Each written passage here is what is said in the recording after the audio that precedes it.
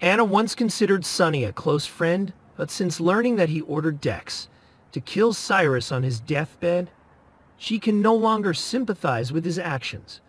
As a police commissioner, she sees justice to the forefront instead of covering up Sonny's criminal actions. In addition, Dex provided additional information that the dimpled man's business was illegal.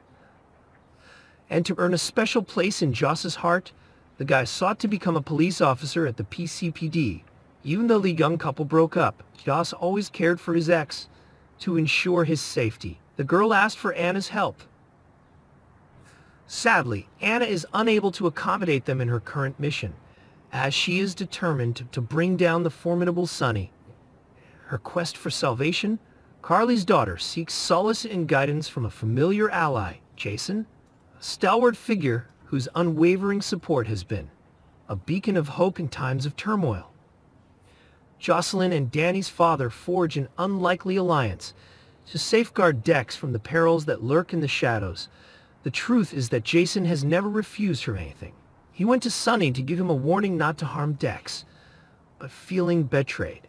Sonny won't let Joss's lover out of his revenge list, with Sonny's ruthless reputation for eliminating obstacles in his path. His safety is far from guaranteed. Notably, Dex's identity is still a mystery, GH spoilers suggest.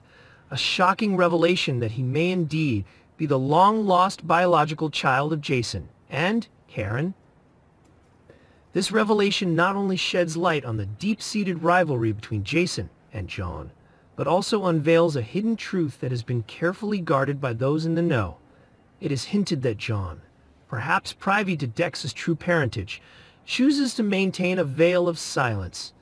But meanwhile, Jason remains blissfully unaware of the existence of his lost child, kept in the dark by Karen's deliberate concealment of this crucial information.